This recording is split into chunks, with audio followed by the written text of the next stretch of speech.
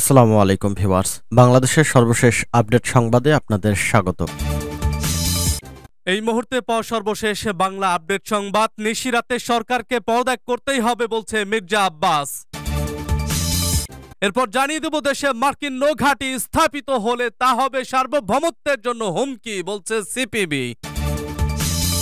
এদিকে পুলিশের লাঠিপেটা যে অপেক্ষায় বিএনপি পন্থী আইনজীবীরা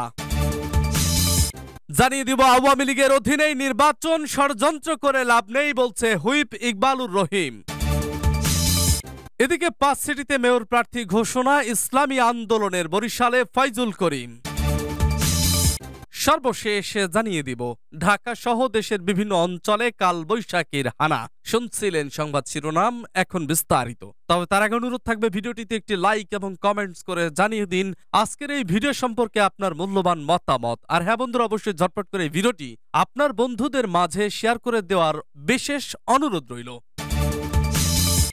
নিশিরাতে সরকারকে পদত্যাগ করতেই হবে বলছে মির্জা আব্বাস বিএনপির স্থায়ী কমিটির সদস্য মির্জা আব্বাস বলেছেন কোনো দেন দরবার নয় কোনো আলোচনা নয় এই অবৈধ ও নিশিরাতের ভোটে সরকারকে পদত্যাগ করতেই হবে বৃহস্পতিবার নয় পল্টনস্থ মহানগর বিএনপির কার্যালয়ে মে দিবস পালন উপলক্ষে এক প্রস্তুতি সভায় তিনি একথা বলেন মির্জা আব্বাস বলেন জনগণ আজ অতিষ্ঠ এ সরকারকে মানুষ আর ক্ষমতায় দেখতে চায় না সরকার দেশের বাকস্বাধীনতা গণতন্ত্র অর্থনীতিকে ধ্বংস করে দিয়েছে এদের যত তাড়াতাড়ি বিতাড়িত করা যাবে ততই দেশের মঙ্গল তিনি বলেন এই সরকারের পতন আন্দোলনের জন্য দেশের সব দেশ প্রেমিক রাজনৈতিক দল ও জনগণ এক হয়েছে এই অবৈধ সরকারের পতন না হলে দেশ আরও অনেক পিছিয়ে যাবে এ সময় দলীয় নেতাকর্মীদের চূড়ান্ত আন্দোলনের প্রস্তুতি নেওয়ার আহ্বান জানিয়ে বিএনপির অন্যতম শীর্ষ নেতা প্রস্তুতি সভায় সভাপতিত্ব করেন মহানগর দক্ষিণ বিএনপির সিনিয়র যুগ্ম আহ্বায়ক নবীউল্লাহ নবী ঢাকা মহানগর দক্ষিণ বিএনপি সদস্য সচিব রফিকুল আলম মজনুর সঞ্চালনায় এতে বিশেষ অতিথি হিসেবে বক্তব্য দেন বিএনপির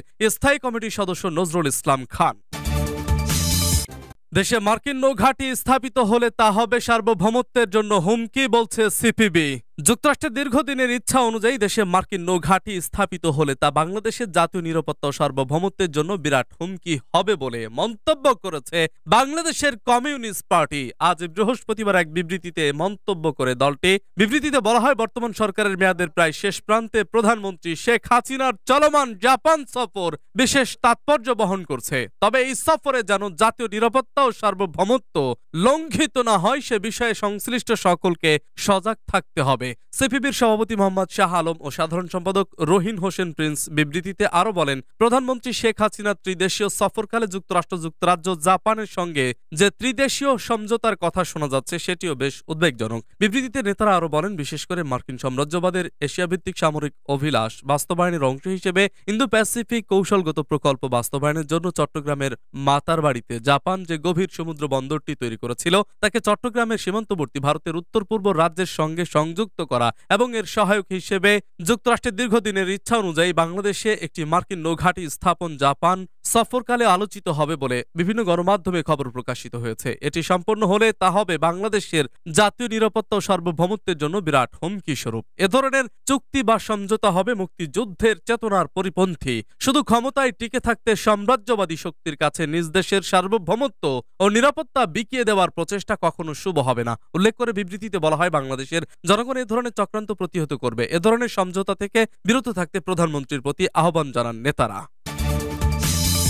পুলিশের লাঠিপেটা যে অপেক্ষায় বিএনপি পন্থী আইনজীবীরা সুপ্রিম কোর্ট আইনজীবী সমিতির দুই হাজার তেইশ চব্বিশ সেশনের নির্বাচনকে ঘিরে জল ঘোলা হয়েছে অনেক দেশের সর্বোচ্চ আদালতের আইনজীবীদের মধ্যকার রাজনৈতিক দ্বন্দ্ব ছড়িয়ে পড়ে সর্বত্র এই নির্বাচনকে কেন্দ্র করে দুটি প্রধান দলের পাল্টাপাল্টি অবস্থান হাতাহাতি ডিম ছোড়াছড়ি এমনকি আইনজীবী ও সাংবাদিকদের ওপর পুলিশের লাঠিচার্জের ঘটনাও ঘটে সে লাঠি পেটার প্রতিকার চাইতে হাইকোর্টের দ্বারস্থ হয়েছিলেন বিএনপি সমর্থিত আইনজীবীরা ঘটনার সূত্রপাত সুপ্রিম কোর্ট আইনজীবী সমিতি দুই হাজার তেইশ চব্বিশ সেশনের নির্বাচনকে কেন্দ্র করে গত পনেরো ষোলো মার্চ দুদিনব্যাপী সমিতি নির্বাচন অনুষ্ঠিত হয় ওই নির্বাচনকে ঘিরে নির্বাচন পরিচালনা কমিটির আহ্বায়কের পদত্যাগের পর নতুন আহ্বায়ক নির্ধারণ নিয়ে পাল্টি অবস্থান নেন বিএনপি আওয়ামী লীগ সমর্থিত আইনজীবী প্রার্থীরা এমনকি নির্বাচনের আগের রাতে বিএনপি প্রার্থীর ব্যালট চিন্তায় ছেড়ার ঘটনাও ছিল নজিরবিহীন নির্ধারিত দিনে নির্বাচন অনুষ্ঠানের চেষ্টা সত্ত্বেও নতুন আহ্বায়ক নির্ধারণের মাধ্যমে নতুন করে নির্বাচন শুরুর পক্ষে কেন্দ্র জুড়ে অবস্থান নেন বিএনপির প্রার্থী ও সমর্থকেরা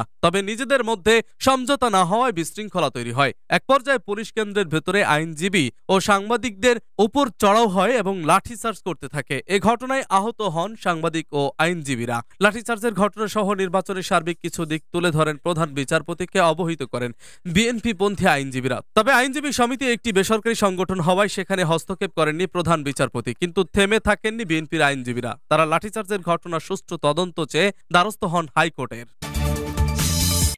আওয়ামী লীগের অধীনে নির্বাচন ষড়যন্ত্র করে লাভ নেই বলছে হুইপ ইকবালুর রহিম জাতীয় সংসদের হুইপ হুইপ ইকবালুর রহিম বলেছেন আওয়ামী লীগের অধীনেই নির্বাচন হবে ষড়যন্ত্র করে লাভ নেই বৃহস্পতিবার দিন দিনাজপুরের ঐতিহ্যবাহী শিক্ষা প্রতিষ্ঠান আদর্শ মহাবিদ্যালয়ের পঞ্চাশতম সুবর্ণ জয়ন্তীর উদ্বোধনী অনুষ্ঠানে তিনি এই মন্তব্য করেন ইকবালুর রহিম বলেন দুই সালে শেখ হাসিনার দেওয়া ডিজিটাল বাংলাদেশ গড়ার নির্বাচনী ইশতেহার পূরণ হয়েছে দেশের জনগণ বিজ্ঞানভিত্তিক চিন্তা করতে পারছে বিশ্বের সাথে তাল মিলিয়ে প্রযুক্তি ভিত্তিক কাজ করছে বঙ্গবন্ধু যেভাবে ষড়যন্ত্র উপেক্ষা করে বাংলাদেশ স্বাধীন করেছেন তেমনইভাবে বর্তমানেও সকল ষড়যন্ত্র মোকাবেলা করে প্রধানমন্ত্রী শেখ হাসিনাও বাংলাদেশকে স্মার্ট বাংলাদেশ বিনির্মাণে কাজ করে যাচ্ছেন হুইপ বলেন বঙ্গবন্ধু কন্যা প্রধানমন্ত্রী শেখ হাসিনার স্মার্ট বাংলাদেশের কারিগর আজকের এই শিক্ষার্থীরাই জাতিজনক বঙ্গবন্ধু শেখ মুজিবুর রহমান যে সোনার বাংলা গড়ার স্বপ্ন দেখেছিলেন সেই স্বপ্ন বাস্তবে রূপ দিতে শিক্ষা ব্যবস্থা এগিয়ে নিয়ে যাচ্ছেন শেখ হাসিনা বর্তমান সরকার শিক্ষা বান্ধব সরকার শিক্ষা ছাড়া কোনো দেশের উন্নয়ন সম্ভব না এজন্য তথ্য প্রযুক্তি শিক্ষার মাধ্যমে দেশকে এগিয়ে নিয়ে যাচ্ছেন বঙ্গবন্ধুর বাংলাদেশ আর পেছনে ফিরবে না বিএনপি জামায়াতের ষড়যন্ত্রের মধ্য দিয়েও দেশকে সোনার বাংলা পরিণত করতে প্রধানমন্ত্রী শেখ হাসিনা নিরলসভাবে কাজ করে যাচ্ছেন শুধু শিক্ষার আলোয় আলোকিত হলে চলবে না আলোকিত মানুষ হতে হবে এজন্য শিক্ষকদের অগ্রণী ভূমিকা পালন করতে হবে উদ্বোধনী অনুষ্ঠানে ছিল জাতীয় পতাকা উত্তোলন শান্তির প্রতীক পায়রা উড়ানো আলোচনা সভা স্মৃতিচারণ সাংস্কৃতিক অনুষ্ঠান অতিরিক্ত জেলা প্রশাসক আনিসুর রহমানের সভাপতিত্বে বক্তব্য রাখেন দিনাজপুর শিক্ষা বোর্ডের চেয়ারম্যান প্রফেসর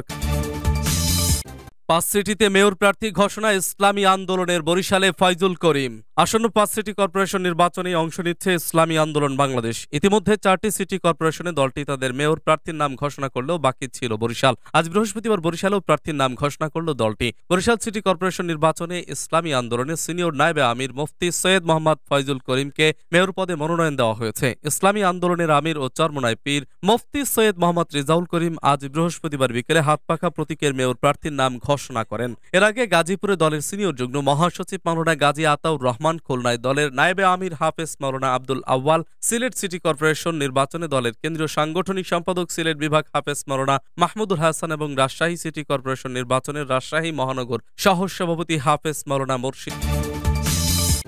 ঢাকাসহ দেশের বিভিন্ন অঞ্চলে কালবৈশাখীর হানা বৃষ্টির পূর্বাভাস আগেই দিয়েছিল আবহাওয়া অধিদপ্তর তারই অংশ হিসেবে আজ বৃহস্পতিবার রাজধানীর ঢাকায় ধুলিঝড়ের পর নামে বৃষ্টি ঢাকা ছাড়াও সাতক্ষীরা ময়মনসিংহ গাজীপুর সহ আশপাশের এলাকার ওপর দিয়ে বইছে কাল বৈশাখী ঝড় এছাড়া আগামী চব্বিশ ঘন্টা রাজশাহী রংপুর ঢাকা খুলনা ময়মনসিংহ ও সিলেট বিভাগে অস্থায়ীভাবে দমকা বা জড়ো হাওয়া সহ বৃষ্টি বা বজ্র বৃষ্টির সম্ভাবনা আছে বলেও জানিয়েছেন আবহাওয়া অধিদপ্তর আজ বিকেল চারটার পর থেকে রাজধানীর আকাশ মেঘলা হয়ে যায় সময় বাড়ার সঙ্গে সঙ্গে আকাশে মেঘের ঘন্টা ঘটটাও ঘন ঘটাও বাড়তে শুরু করে সন্ধানাকাত কালো হয়ে আসে আকাশ এর সঙ্গে শুরু হয় কালবৈশাখীর প্রথম ধাপ ধলিঝড় এরপর নামে মুসলধারে বৃষ্টি আবহাওয়া অধিদপ্তর আগামী চব্বিশ ঘন্টার পূর্বাভাসে জানিয়েছে রাজশাহী রংপুর ঢাকা খুলনা ময়মনসিংহ